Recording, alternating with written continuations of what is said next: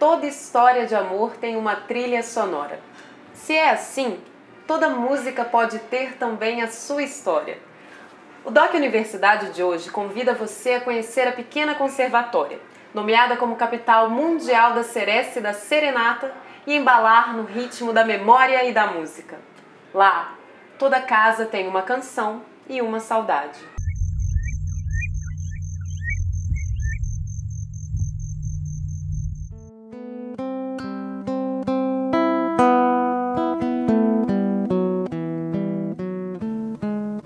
A luz pálida na cidade vazia fazia nostálgica a minha alma.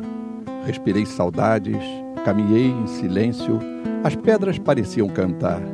Talvez levado pela emoção em que meu pensamento buscava o passado, me pareceu ouvir um violão. Um violão que chorava saudades, nos versos tristes de uma canção que falava de amor. Percebi então que o tempo passou, caminhou nestas ruas seresteiras, onde os vagalumes bailavam entre as rimas do poeta maior. Aquele que deixou em cada casa uma canção, em cada janela o eco emocionado das serenatas ao luar. Um dia ele precisou partir e lá se foi, entre as canções que compôs, entre as rimas de seus versos, entre as flores que plantou e com a dignidade e a altivez daqueles que sonharam e souberam realizar seus sonhos.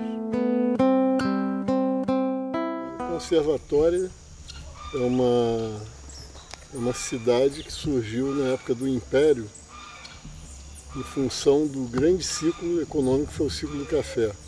Um dos maiores produtores de café da região do Vale do Paraíba. Né? E o crescimento dessa cidade foi pautado exatamente é, pela ferrovia que chegou em 1883 nós, para escoar a produção de café, inclusive o imperador Pedro II esteve na inauguração da ferrovia, aquele túnel na entrada da cidade, que é um túnel feito pelos escravos na época, né? era para a entrada do, da, da, locomotiva né, na cidade. E posteriormente eles fizeram uma ligação com o sul de Minas. O trem ele chegava à conservatória em 1883 e posteriormente a isso é que foi construído o ramal até São João del Rei.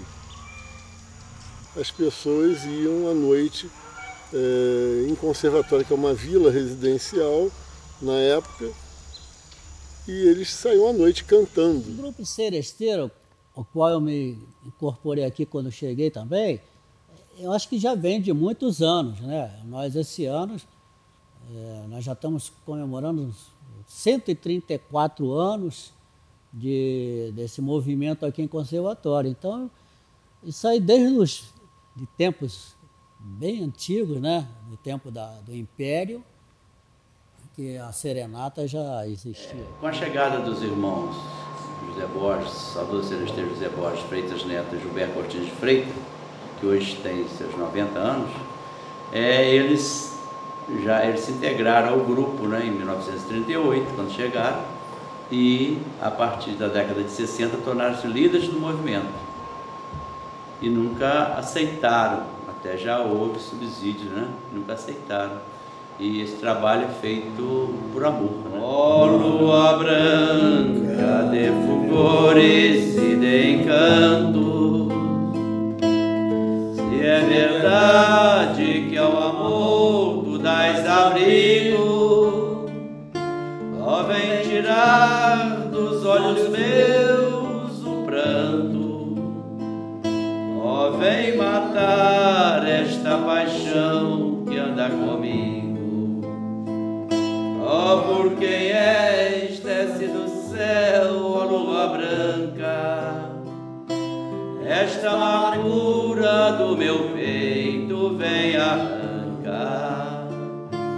Dá-me o luar da tua compaixão. Ó, vem por Deus iluminar meu coração. E quantas vezes lá no céu aparecia a brilhar.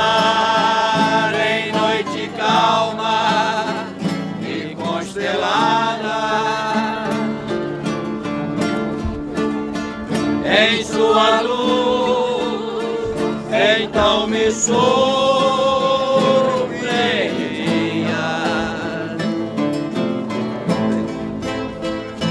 Ajoelhado junto aos pés da minha amada.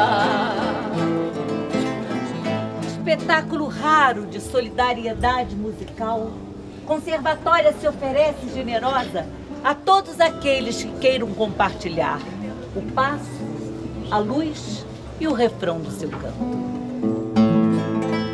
Dizem que é de saudade. Quando a gente vai para a rua, aí sim, é serenata, né? que é feita ao sereno, normalmente à luz do luar. Eu costumo dizer que conservatória só tem uma fase da lua, que é a lua cheia. Estrelas mudam de lugar.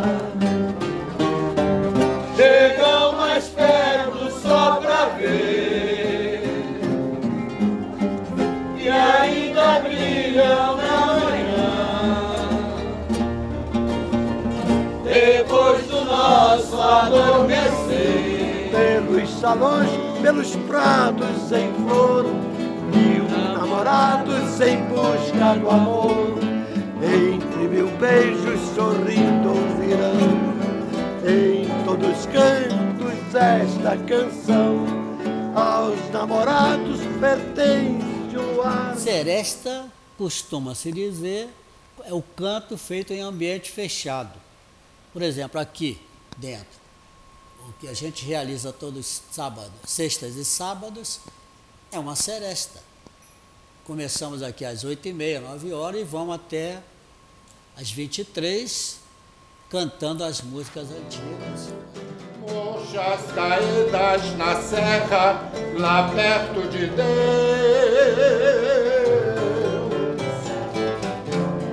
Oh, minha serra, eis a hora do adeus, vou-me embora. A lua faceira, tal qual companheira, morre de ciúmes, se esconde em queixumes, mas segue o poeta na noite apagada. Meu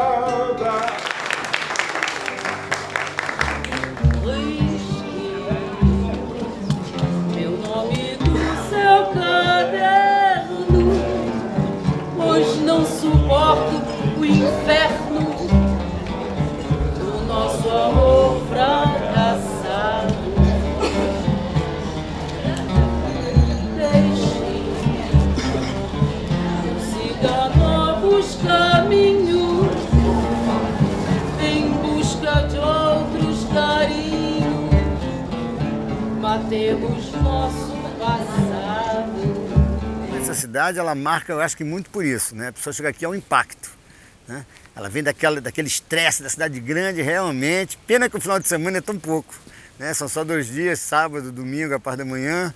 Mas quando tem um feriadão, então, as pessoas saem daqui extasiadas. Nosso amor que eu não esqueço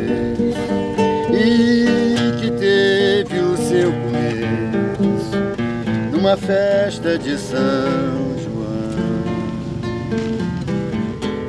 Eu lembro que a primeira vez que eu vi, eu corri pro banheiro do restaurante para chorar.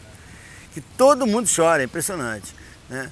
Então eu corri, pô, eu tava dando um nó na garganta, falei, caramba, vou ter que chorar, cara. Aí fui pro restaurante chorar, porque mexe mesmo com a emoção. O objetivo do projeto Em Toda Casa Uma Canção, criado pelos irmãos saudoso celesteiro José Borges e seu irmão Gilberto, na década de 60, ele foi um dos responsáveis desse projeto pela divulgação do lugar.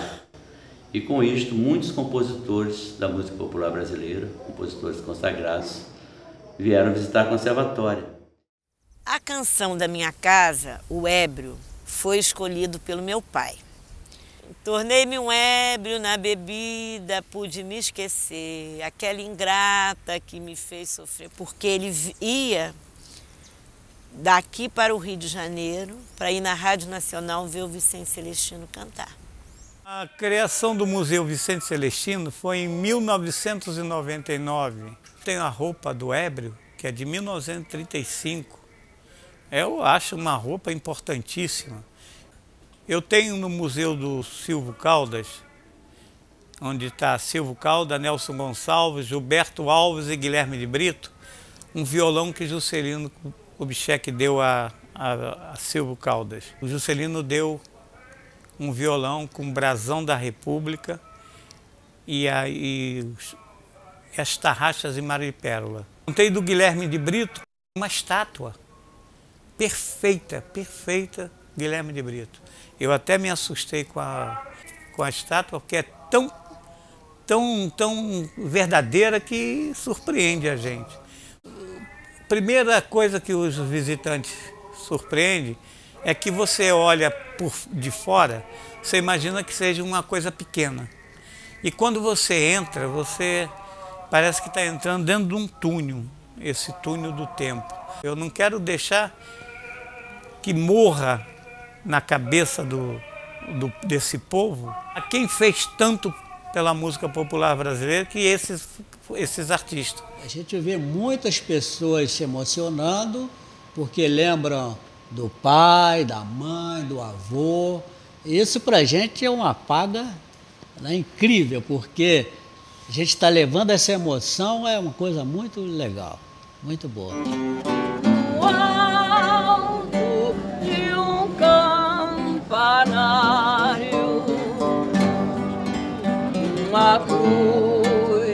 Simboliza o passado.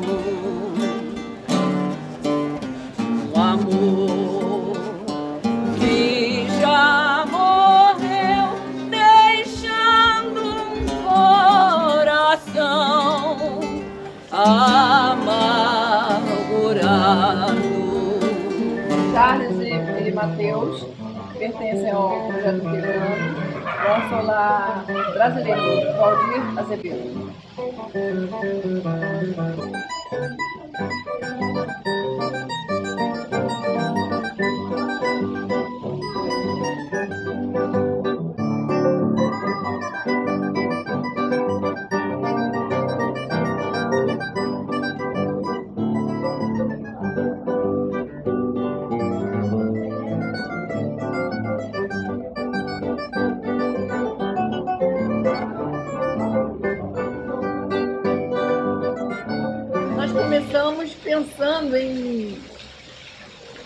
Conquistar pessoas para acompanhar a serenata e que gostassem, que se integrassem, por isso o nome integrando, integrar a comunidade ao, ao que acontece, né? aos eventos que são constantes.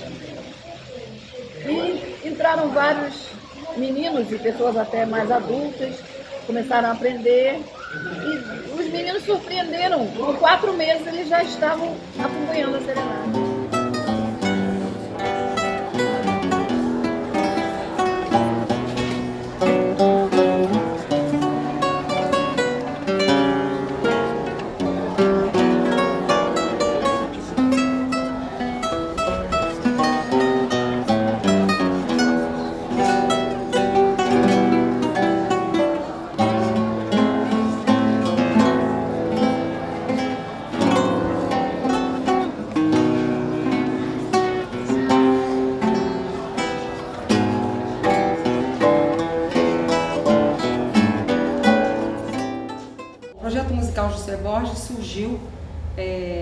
Falecimento do, do, José Borges, que foi um grande celesteiro, foi um, um ícone nessa cidade, é, porque ele levou a cidade conservatória a, a, ser conhecida pelo mundo pelas suas serestas e serenatas de Rui. Já vai o lá vai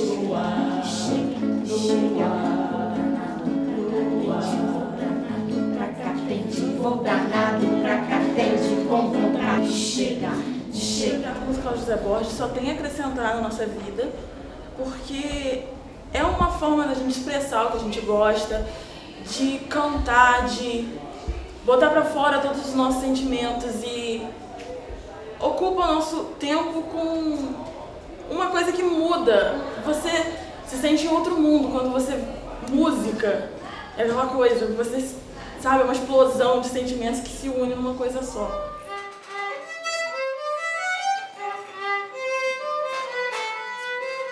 Saraus que ocorrem aqui na Fazenda Florença foi idealizado por mim, juntamente com historiadores, no qual nós apresentamos teatralmente é, um momento do século XIX de uma família de fazendeiros ricos, né?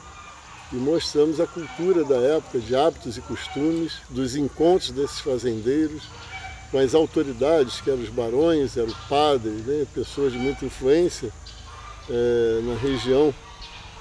Como o conservatório é uma cidade que tem respira e pensa em música, o nosso sarau teatral tem uma parte musical. E essa parte musical, uma conotação de algumas músicas do século XIX, porém nós chegamos ao século XX e ao XXI também.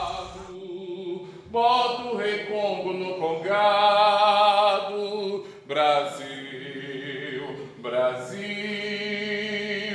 deixa, canta de novo trovador, a merencória, luz da lua, toda a canção do meu amor. Nós temos também uma visita guiada à casa sede, no qual eu apresento a casa, detalhando os hábitos e costumes do século XIX.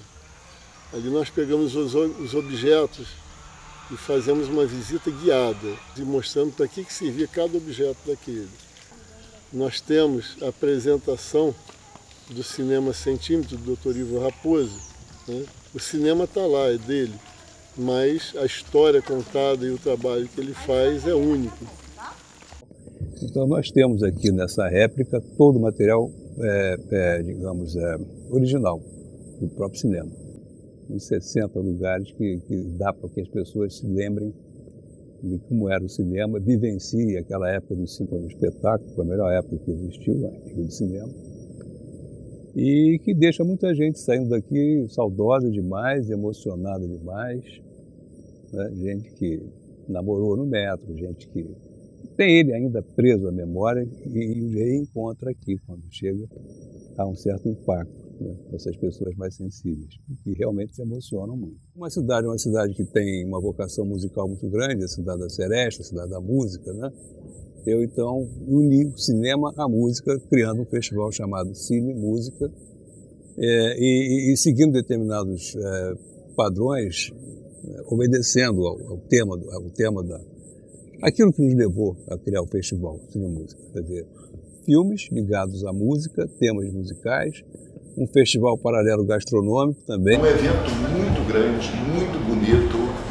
Eles montam cinemas, eles montam um cinema na pracinha de baixo, um cinema para 500 pessoas, montam em dois dias e ali passa filmes educativos, musicais. Que pelo mundo imenso da quimera a treva do horizonte se apodera e o perfume das rosas se evapora.